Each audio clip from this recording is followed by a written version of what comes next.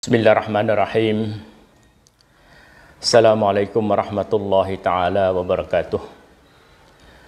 បងប្អូនមូស្លីមទាំងអស់ជាទីស្រឡាញ់មានសំណួរជាច្រើនដែលតែងតែលើកនិងដាក់ជាចម្ងល់ថាតើមនុស្សប្រុសអាចលាបសក់ពណ៌ខ្មៅបានដែរឬទេមានន័យថាពេលដែលគាត់ចូលវ័យចំណាស់សក់ស្កូវឬពុកមាត់របស់គាត់ស្កូវតើគាត់អាចលាបថ្នាំ ឬក៏ប្រើប្រាស់ថ្នាំណាមួយដើម្បីឲ្យសក់របស់គាត់ឡើងខ្មៅវិញបានដែរឬក៏អត់នៅក្នុងមេសាឡាដែលតេតទៅនឹងបញ្ហាអបសក់ឬក៏លាបសក់ឲ្យខ្មៅនេះគឺត្រូវបានច្បាប់ហាមមានបញ្ជាក់នៅក្នុងប្រសាសន៍របស់នប៊ីយើងមូហាម៉ាត់សុសឡាមហើយមួយទៀតអ្វីដែលត្រូវប្រុងប្រយ័ត្នថាតើថ្នាំដែលយើងយកមកប្រើលាបសក់នោះបើសិនជាក្រៅពីពណ៌ខ្មៅថាតើវាអាចប៉ះពាល់ដល់ការ ជ្រាបទឹកមិនជ្រាបចូលដល់សក់ដែរឬក៏អត់ពីព្រោះកាលណាទឹកមិនជ្រាបចូលដល់សក់វានាំឲ្យប៉ះពាល់ដល់ការយកទឹកសម្បះយ៉ាង គឺមិនត្រឹមត្រូវព្រោះយើងត្រូវការទឹកជ្រាបដល់សក់ទី2ថាតើថ្នាំដែលយើងយកមកប្រើក្រៅពីពណ៌ខ្មៅនេះថាតើវាអាចជាប្រភេទថ្នាំដែលផ្សំឡើងដោយមានណាយិសឬក៏ដោយសារធាតុណាមួយដែលច្បាប់សាសនាអ៊ីស្លាមហាមឃាត់ឬក៏អត់ប្រសិនបើមិនមាន មានន័យថាស្អាតថ្នាំហ្នឹងគឺធាតុផ្សំរបស់វាគឺមិនមានសារធាតុណាមួយដែលច្បាប់សាសនាអ៊ីស្លាមហាមទេនោះឬក៏វាមិនមែនជាជាតិជ័រឬក៏ជាតិអីមួយដែលធ្វើឲ្យទឹកមិនជ្រាបដល់សក់ឬក៏ក្បាលទេនោះហើយវាខុសពីពណ៌ខ្មៅមានន័យថាมันមានផោះតាំងណាមួយបង្ហាញថាត្រូវបានហាមឃាត់នោះទេពីព្រោះសម័យនប៊ីយើងមូហាម៉ាត់សុសឡាមក៏លោកបានប្រើឲ្យអប់សក់នេះឬក៏លាបសក់នេះឬក៏ធ្វើឲ្យស្ដូរពណ៌សក់នេះ ដោយប្រើកំភេនព្រោះកំភេននេះវាជាជាតិមួយដែលនប៊ីលោកស្រឡាញ់ហើយវាចូលទៅក្នុងសក់តែម្ដងដោយមិនមានជាការរារាំងអីទេចំពោះការដែលនប៊ីហាមមិនអោយលាបសក់ពណ៌ខ្មៅឬក៏អប់សក់ឲ្យទៅជាពណ៌ខ្មៅនៅពេលដែលសក់នឹងវាស្កូវឬក៏វាសហើយនោះគឺនៅក្នុងដំណើររឿងមួយដែលឪពុករបស់អប៊ូបការអស្សិឌីករ៉ាឌីយ៉ាឡោះអាននោះដែលជាគាត់ឈ្មោះអាប៊ីកូហាហ្វា ចឹងអាប៊ីកូហាហ្វានេះគឺជាឪពុករបស់នប៊ីរបស់អប៊ូអប៊ូបការអស្សិឌីកតែឈ្មោះពិតរបស់គាត់គឺឈ្មោះអូស្មានប៊ីនអាមៀរចឹងនៅឆ្នាំដែលនប៊ីយើងបានរំដោះទីក្រុងម៉ាកាពេលនោះអប៊ូបការក៏បានត្រូវបាននប៊ីប្រើឲ្យទៅមើលឪពុកហើយឪពុករបស់គាត់នៅឆ្នាំនោះហើយជាឆ្នាំដែលគាត់ចូលកាន់សាសនាអ៊ីស្លាមពេលដែលគាត់ចូលមកនេះគឺនប៊ីយើងក៏បានទៅជួបគាត់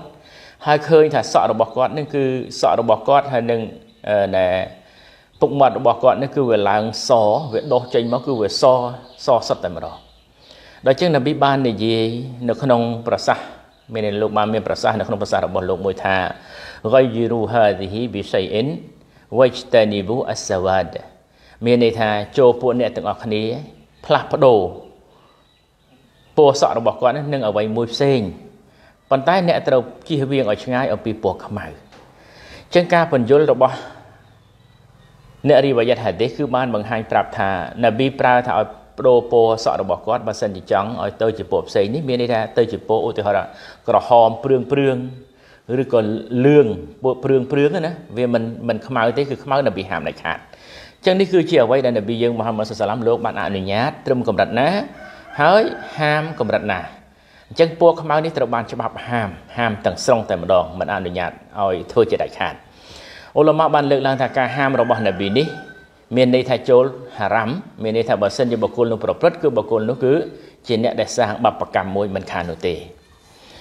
នៅក្នុងប្រសាសន៍មួយទៀតរបស់នប៊ីយើងមូហាម៉ាឌុនសលឡាមដែលលោកបានមានប្រសាសន៍ថាយ៉ាកូនូកោមុនយ៉ាខឌីបូណាហ្វីអាខិរិហ្សាម៉ានីប៊ីសាវ៉ាឌីកាហាវ៉ា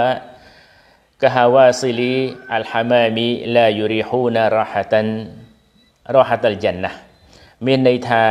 ហាឌីនេះមានបញ្ជាក់នៅក្នុងគីតាបអប៊ូដាវូដហើយឈឺអាល់បេនីថាជាហាឌីដែលសោះហេអញ្ចឹងមានន័យថាម៉េចនប៊ីថានៅអាខិរហ្សាម៉ាន់នឹងមានក្រុមមួយ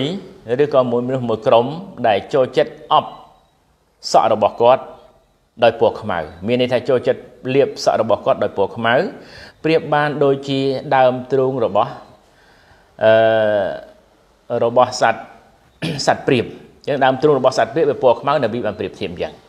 អញ្ចឹងនប៊ីថាបុគ្គលណាហើយដែលធ្វើដូច្នេះឬក៏អនុវត្តដូច្នេះគឺមានន័យថាគាត់នឹងមិនធំក្លិនសុរហ្គទេឬក៏ក្រុមណាហើយដែលធ្វើដូច្នេះនឹងមិនធំក្លិនសុរហ្គរបស់អល់ឡោះជាម្ចាស់ឡើយអញ្ចឹងនៅក្នុងហាឌីសនេះគឺបង្ហាញប្រាប់ថាជាបាបកម្ម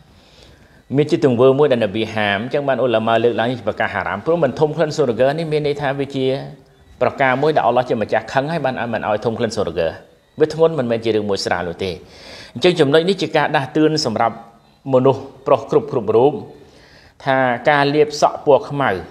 ដោយលើកឡើងខាងលើហើយសារធាតុដែលលាបនោះគឺវាស្អាតវាល្អទេនោះក៏ត្រូវបានច្បាប់ហាមទាំងស្រុងដែរមិនអនុញ្ញាតទេប៉ុន្តែអាចលាបពណ៌អីផ្សេង ប៉ុន្តែជាទម្លាប់របស់មនុស្សគឺតែងតែមិនជ្រើសរើសពណ៌ណាក្រៅពីពណ៌ខ្មៅទេដោយសារគាត់គិតថាពណ៌ខ្មៅនេះដើម្បីដូររាងកាយឬក៏ដូរការយល់ឃើញរបស់មនុស្សថាគាត់នៅក្មេង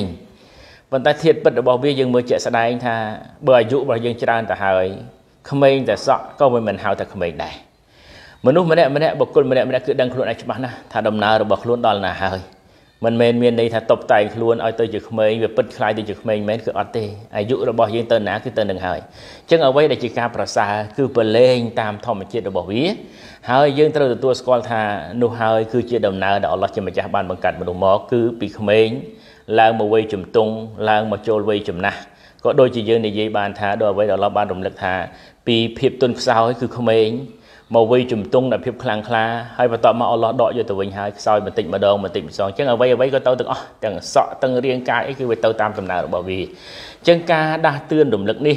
នៅអ្វីដែលនប៊ីបានរំលឹកទាំងអស់នេះគឺដើម្បីឲ្យមនុស្សនឹងដឹងថាខ្លួនឯងចាស់អញ្ចឹងកាលណាមនុស្សដឹងថាខ្លួនយើងគឺកាន់តែទៅមុខគឺមនុស្សត្រូវតែត្រៀមខ្លួនធ្វើនៅអ្វីដែល អល់ឡោះជាម្ចាស់បង្កប់ប្រើដើម្បីជាដើមទុនទោះបីបានតិចក្តីច្រើនក្តីយើងសន្សំគ្នារហូតដល់ថ្ងៃដែលអល់ឡោះយកយើងទៅវិញគឺយើងមានដើមទុនសម្រាប់យកទៅថ្ងៃអាខិរ៉ាត់មិនមែនមានន័យថាលៀបសក់ឲ្យខ្មៅហើយអ៊ីបាដាតមិនប្រឹងធ្វើនោះនាំឲ្យរួចខ្លួនពីបបកម្មរបស់អល់ឡោះនោះឡើយ هذا وصلى الله نبينا محمد وعلى آله وصحبه أجمعين السلام عليكم ورحمة الله تعالى وبركاته